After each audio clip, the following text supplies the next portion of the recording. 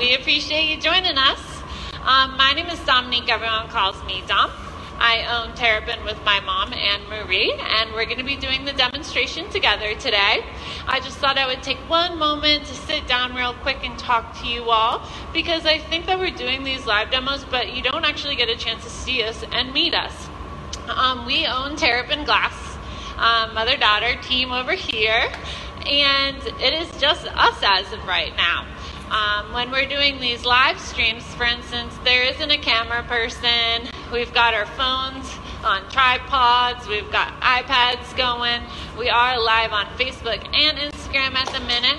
Um, so we do appreciate you tuning in and spending your time with us. And we also appreciate your patience on any technical um, glitches that might occur, as in Facebook doesn't like to work for me sometimes, so we're late again. We are in a really loud space right now, so I do have a microphone going, and I do realize that sometimes there's a lot of background noise. I have been getting a couple of comments with people complaining about that, but there's nothing I can do about the background noise. We're just simply doing the best we can, and I got this funny workout mic going on. I did want to take a moment before we jump into this demo to talk about what we do do.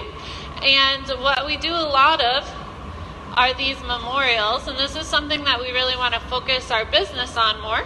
While going live on Facebook is quite fun, it doesn't make us any money. It actually costs us a few hundred dollars every week when we do this.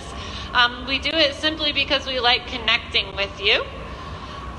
But the way that we make our income and survive are we do these memorials. So you see, this is a paw print sun catcher, and inside are ashes. So if you've lost somebody or a pet, or you know somebody that lost somebody, perhaps you could consider giving us their, our giving them our contact information because that is the way that we're surviving as a small business in the middle of a pandemic. Another way that we're surviving is we're teaching classes. So I've got some straws right here, and this is my newest class that I'm starting to teach. So you can come in and I sit you down on your own torch and I show you how you can decorate your own straws. These are COVID safe classes. We're under really strong ventilation and everyone is wearing masks. So I know I have a lot of really thoughtful followers, and COVID is obviously a big concern. And just to relieve you of that concern, everybody has their own independent ventilation, and everybody in our studio is always wearing masks. So as I say that, as you can see, I'm not wearing a mask right now. There's nobody else in our space, and we don't actually let the public in this hot shop area.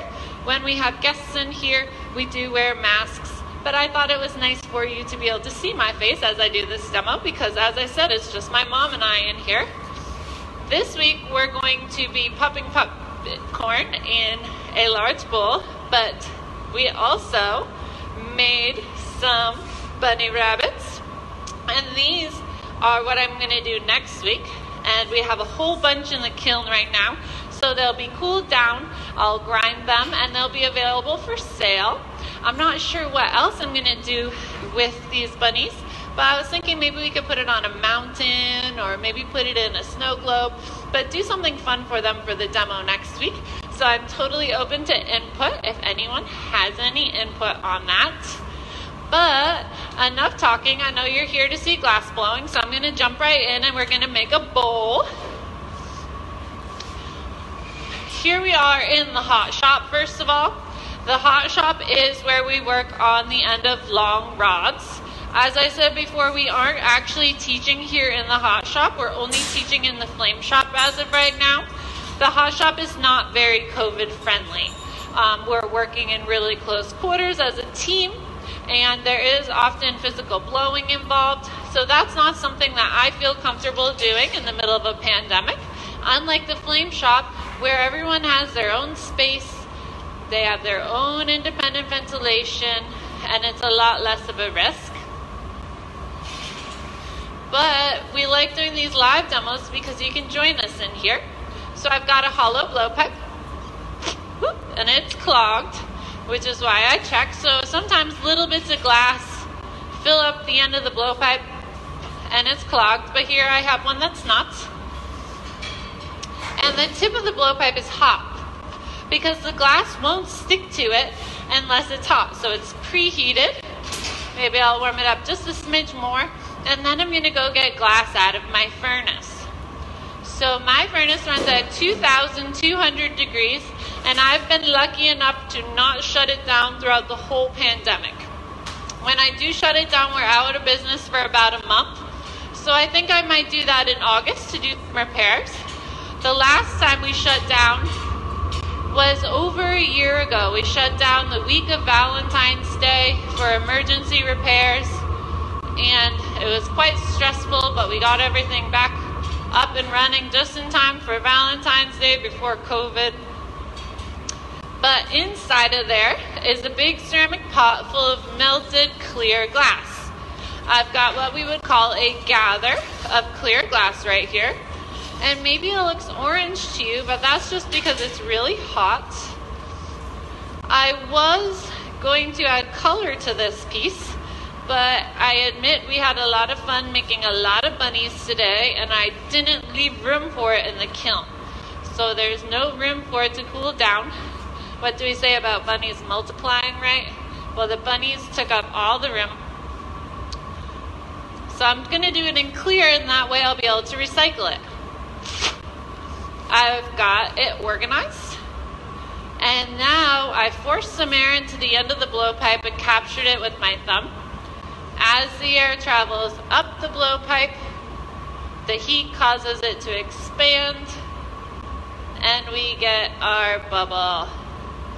Now this is hollow. Pretty cool, right? This would be the amount of glass that one would use to make an ornament in order to make enough popcorn to have it be something fun, we're going to go and get some more glass.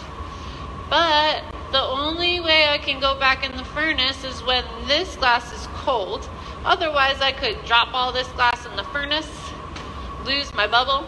Thankfully, I don't have any color, so I wouldn't make any of my future customers cranky by finding my color in the furnace. But I would once more lose my bubble. I'd have a big, massive glass and no bubble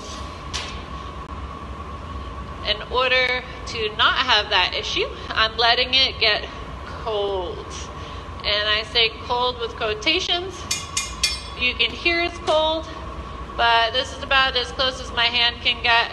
And it's really, really hot. It's well over a thousand degrees. Now I'm to go back in my furnace once more. Inside of my furnace is a big ceramic pot. When it's full, it holds 145 pounds of melted clear glass and it runs at 2,200 degrees.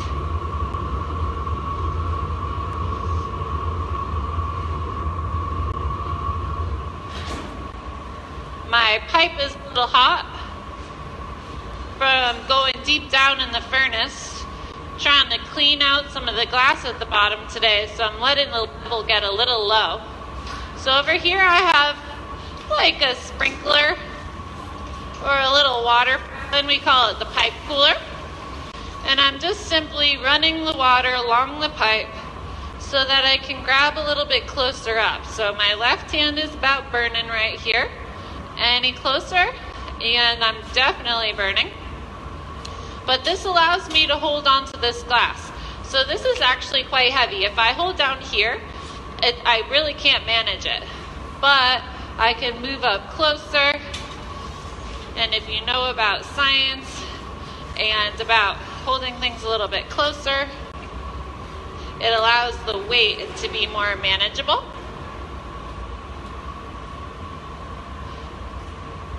I've got a block that's made out of fruit wood and it hangs out in water. I buy this from a company in the West Coast and as the glass is rolling on the wood, it creates steam and it allows me to make it a lot more organized. So I'll let you see what we got going on here. I've got some thick glass and a little bitty baby bubble inside. But it's time to start letting that bubble get bigger. The only way to do that is to first heat it up because it's cold again. Cold. Then I'm going to cool the bottom and continue blowing it out. if you're watching this, I am open to any questions or comments. I'm also open to suggestions on what you think our bunny rabbit should sit on. Should it sit on a mountain? Or should I put it in a snow globe? Or maybe I should make a little bunny rabbit scene with a tree. Or maybe you all have ideas that are way outside of the box that I can't even think of because I've been trying to think about it all day long. So it's nice to have opinions. It's also really great to have questions. We are so lucky to have the most thoughtful customers and followers. I really appreciate y'all and I love having all your input. Honestly, we've only had a couple of trolls in these three or so months that we've been going live every week, and we get around two to three thousand people that watch. And to have only a couple of mean people, that's totally cool. And guess what? They have freedom of speech, but I also delete their comments. So I think that I win.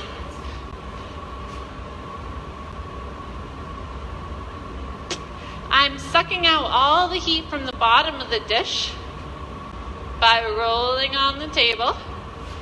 And then I'm spinning and blowing to enlarge it.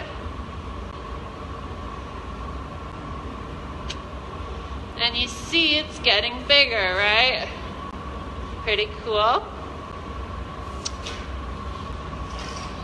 You want to untangle the blow hose and you can pull this out of the way glass blowing in here is very much a team sport. Ideally, there's a person making a piece and they have one or two assistants. So my mom and I have been working alone during COVID. Can I have that? Which has been great for us to get to spend time together.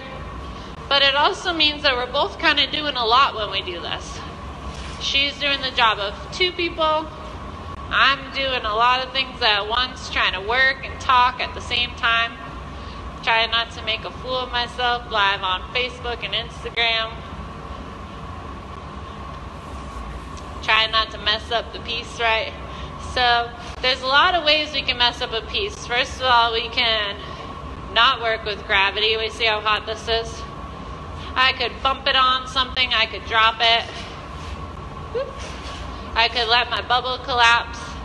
So every time we make something, there's a risk that it could be what we would call a sacrifice to the glass gods.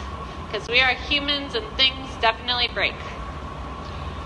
I've got a blow hose on the end that saves my mom from having to duck down and blow into the end of my pipe. But it's also just adding another thing for me to do. So right now I'm spinning with my left hand. I'm using my tools with my right hand. And I'm talking and blowing almost all at the same time. But it's getting bigger.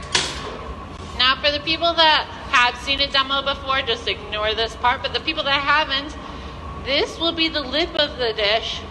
This will be what sits on the table. So it's actually upside down right now. Can you rub wax on those?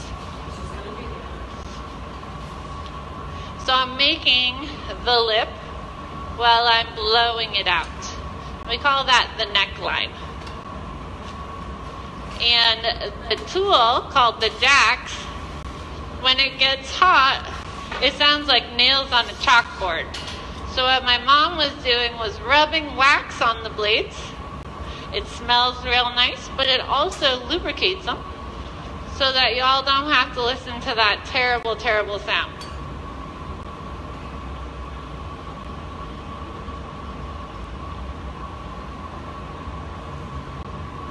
But I have a pretty nice ball right here. For anybody that's ever taken the class with me before COVID, my joke is that a ball starts it all.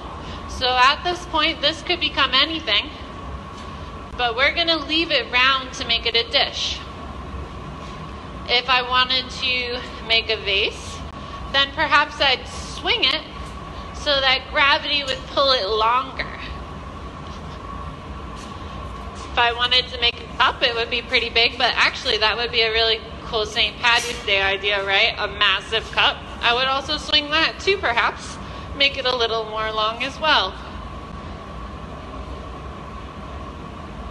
And I'm just waiting for it to get a little more stable. Then we're gonna put a little foot on the bottom just for fun. Flash. My mom's gonna babysit the piece. If it gets too cold, it's gonna break, so she's doing what we call flashing, which is just sticking the glass in the heat for a moment, making sure that it doesn't get too cold and crack, which would ruin our fun. I've got a little bit of hot glass from the furnace, and I'm gonna plop it on the table. We call this a cookie foot. If you've watched any of my demos, you're probably an expert on that. I tend to use them a lot. Plopping it on the bottom in the middle the best I can. Now I have a little platform.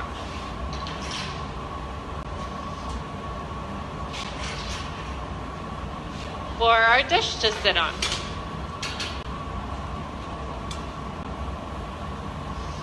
And I'll show you what I got in just a minute. I'm using all clear because like I said, I don't have room in my kiln for this to cool down slowly, so it's gonna break. But if I'm using clear, it'll allow me to recycle it later. So it's gonna sit like this. And we're gonna throw the popcorn inside. But first we gotta flip it over and open it up just a smidge. Yeah, we got the popcorn. And just for an FYI, I've only done this once and it was about five years ago when I burned the popcorn. But if you know anything about me, I burn everything, including food. But my mom's a good cook, so perhaps we'll get it right. I think the trick will be to let the glass be cold. And once more, that cold should be in parentheses because if it's too cold, it's gonna smash and explode and break. So, relatively speaking, cold. Want to flash that real quick?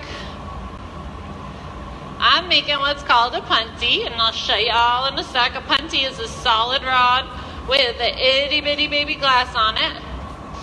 And now you're gonna see my bum right in the middle for a minute. You can let go. So I put the punty on the bottom in the middle the best we can.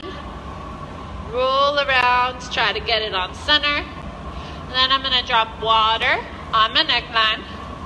And I apologize once more. We don't have a camera lady. We're pretty low tech here. So every once in a while, you get funny views. But I dump water on the lip and then I gave it a little tap. Vibration then breaks our glass at its weakest point. When all goes according to plan, our weakest point is on the top. Sometimes, as you can imagine, our weakest point may be the punty. And you'll do that a lot of times if you're choosing to pursue glass blowing as a hobby or even as a career. Glass breaks, and that's just part of the game. You can just, we won't worry about that.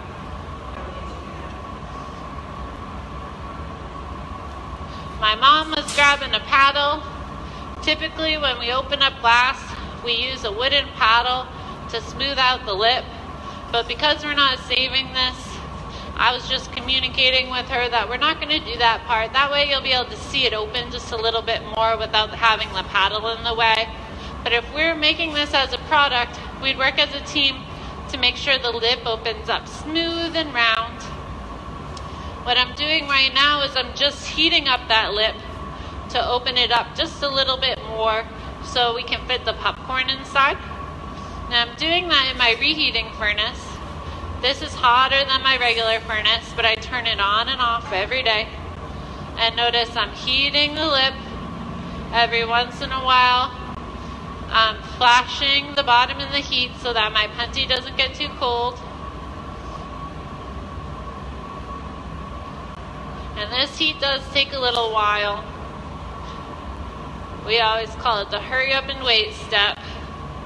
You gotta hurry up, get the punty on, get it over here in the heat, but then you sit and wait for the heat to really soak in. Remember, I dumped a bunch of water up there, so it got cold enough to break. Now I need it hot enough to move again. Got a lot of heat in there, so I'm putting my little jacks or these tongs inside. And as I roll, it opens up. And we got a pretty good dish. You want to grab a glove?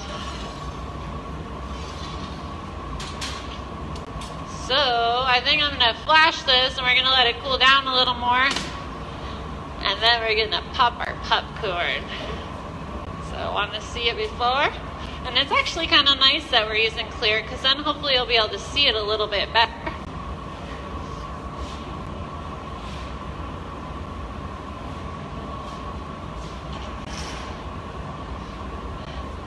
And this glass is so hot that we really can't get close.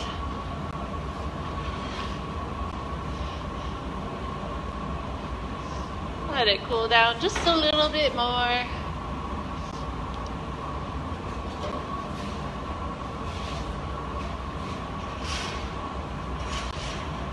Okay.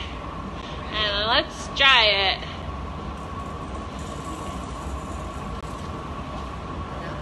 Let's see what happens. Maybe we don't have enough heat.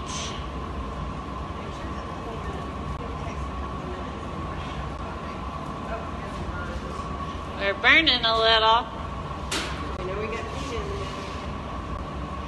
What do you think? We should keep heating or. Oh, we got it!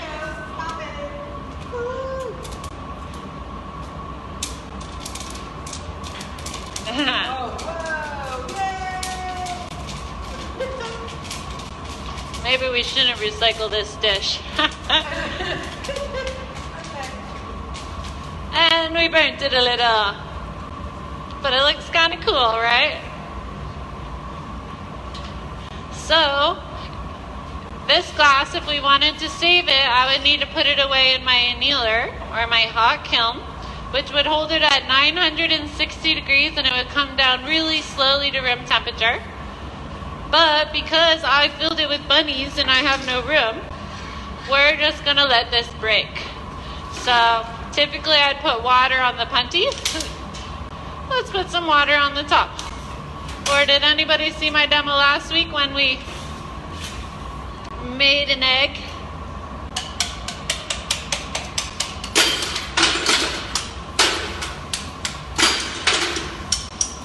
It's fun to break things, right? Yeah. Yay! Thanks so much, everyone. I appreciate you spending your time with us. Like I said, next week I'm going to have a whole bunch of bunnies for sale up on our website. And I thought because Easter's coming, we could do a bunny rabbit demo. And I thought we could do something fun with a bunny, make it a little more fancy. So maybe we could make a bunny landscape scene, or we can put a bunny in a snow globe. Or I want to hear all of your opinions on what you see. Also, your opinion on what color bunny you would like. But otherwise, we really appreciate you tuning in. We seriously have the best followers and customers ever, and we're so grateful for you. Um, feel free to check out our website and sign up for a class if you want to come and join us. Bye. Bye.